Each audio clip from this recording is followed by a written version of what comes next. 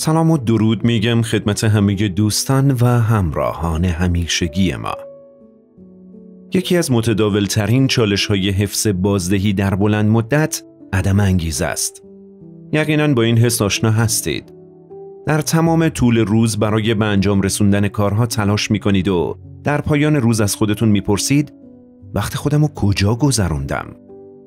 هر کسی این سوالو از خودش می‌پرسه.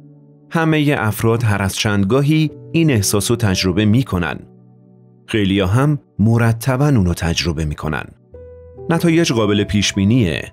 ناامیدی، استرس و احساس گناه برای شکست در انجام کارهای با ارزش و مهم. یک فهرست به نام کارهای انجام شده راه حل این مشکله.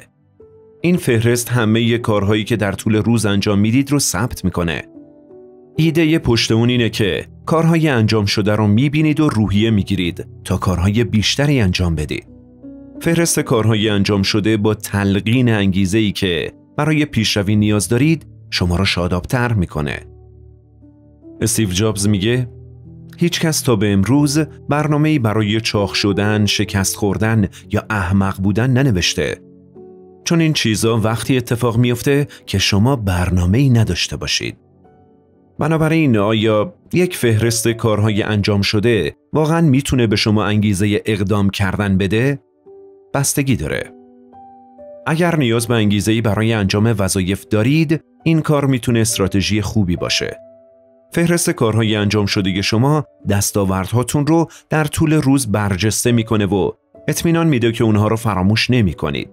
در مقابل هنگامی که در یک فهرست کارهای برنامه ریزی شده وظایف انجام شده را خط می‌زنید. گاهی مواقع از میزان واقعی به انجام رسوندن کارهاتون چشم پوشی می. از اون طرف اگر نیازی به انگیزه جهت کار ندارید احتمالا فهرست کارهای انجام شده نیاز نباشه. در حقیقت ممکنه به میزان بهرهوری شما آسیب هم برسونه. چون فهرست دیگه‌ای به فهرست های شما اضافه می‌کنه که باید مدیریتش کنید. این کار می‌تونه سیستم برنامه ریزی شما رو از کار بندازه در صورتی که واقعا نیاز به اون نیست اگر مطمئن نیستید که آیا یک فهرست کاری انجام شده به شما کمک می‌کنه تا کارها رو به انجام برسونید یا نه پیشنهاد می‌کنم اون رو مورد آزمایش قرار بدید برای آزمایش یک فهرست کارهای انجام شده رو به مدت دو هفته اجرا کنید و به تأثیرش روی خودتون دقت کنید. اگر متوجه شدید که تأثیر مثبتی روی بازدهی شما داره، استفاده از اون رو ادامه بدید.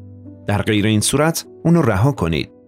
به یاد داشته باشید هدف این راهنمای عملی ایجاد کردن سیستم برنامه ریزیه که برای شما کار کنه و کارآمد باشه. خب، بریم سراغ ایجاد این فهرست.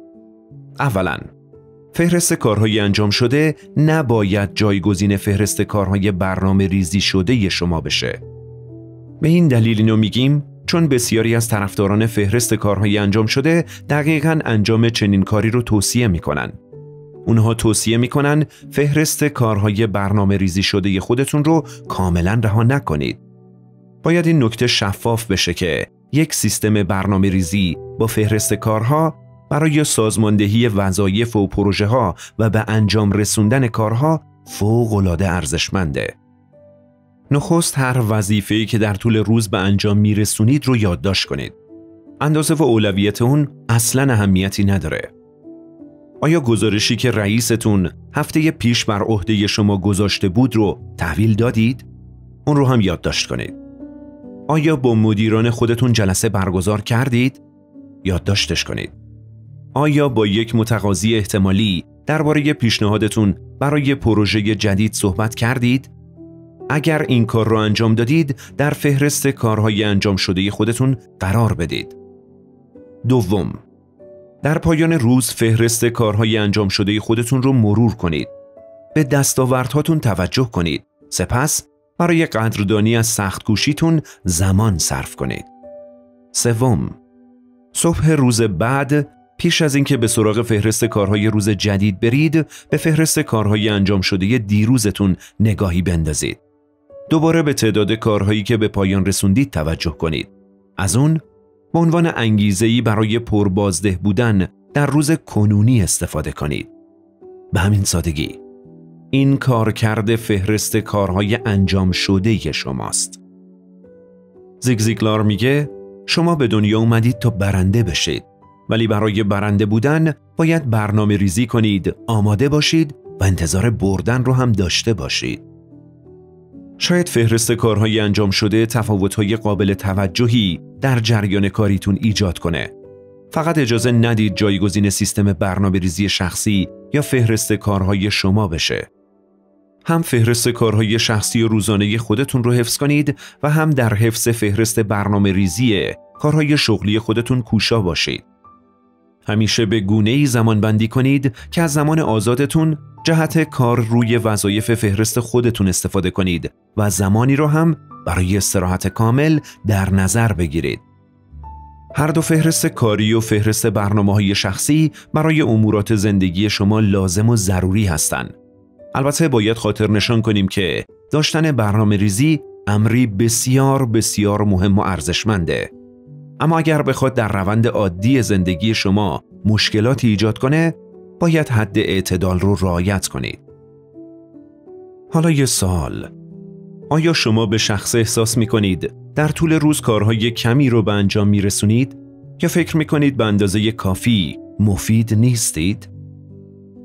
برای بررسی رازی که افراد موفق هرگز به شما نمیگن بهتون پیشنهاد می‌کنم حتما این برنامه رو ببینید. یادت باشه هیچ اتفاقی نمیافته مگر اینکه ابتدا رویای اون رو در سر داشته باشی. پیروز و سربلند باشید.